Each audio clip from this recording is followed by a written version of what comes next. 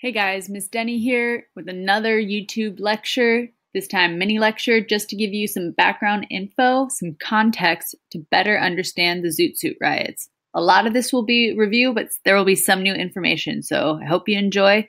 Here we go. As many of you already know, the southwestern part of the United States was Mexico before America acquired that, those territories in the Mexican American War. So there's already a population of Mexican people living in the United States. Then, with the Mexican Revolution and uh, more immigration in the 1920s, about 3 million Mexican and Mexican Americans lived in the US. Los Angeles had the largest Mexican American population of any US city. So, the next two things you already know from yesterday's video, but here is a little bit of review.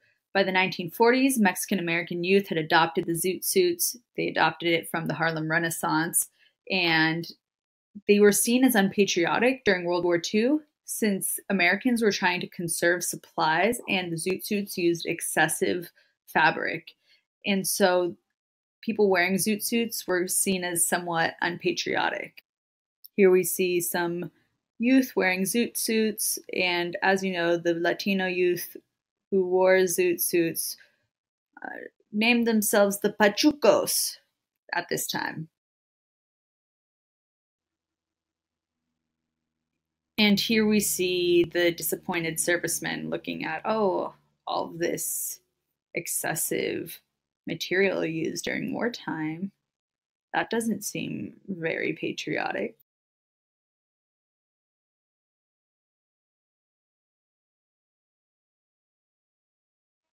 One thing to note quickly is the Bracero program, which was a program implemented by the government to import Mexican farmers when there was a large farming shortage in the United States.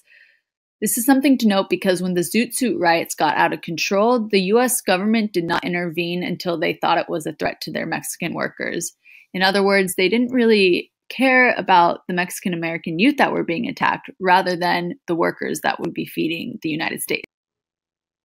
This is an image of Mexican farmers registering for the Bracero program. And this is a picture of the lunch line during the program.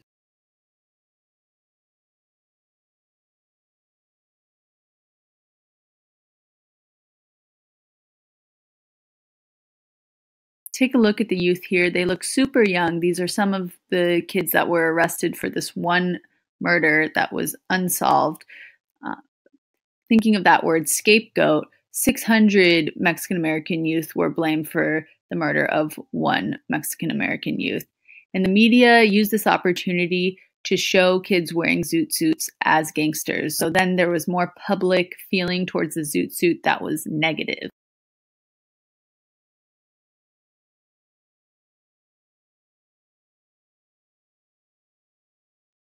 In May and June of 1943, the Zoot Suit riots broke out in Los Angeles. These riots lasted several days, and thousands of servicemen participated, going around in gangs, pretty much attacking Mexican American youth on the street wherever they saw them.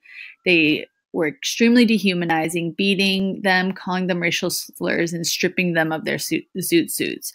Filipino and African American youth were also attacked. Perhaps needless to say, the majority of servicemen and women in LA during this time period were white. And in the next slides, you're going to see how they went around in groups with their batons, waiting to see a zoot suiter walking down the street just to attack them.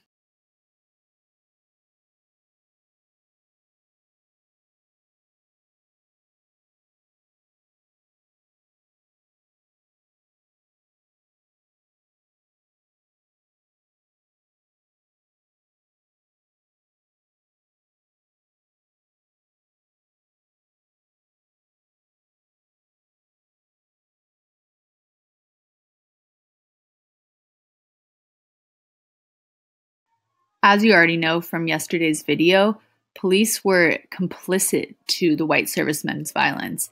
In fact, hardly any servicemen were arrested, and hundreds of Mexican American youth were arrested during this horrific event.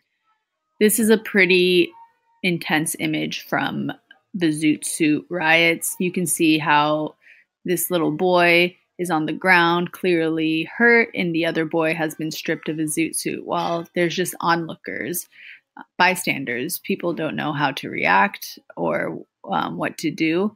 And the other boys are just humiliated while the police just kind of stand there.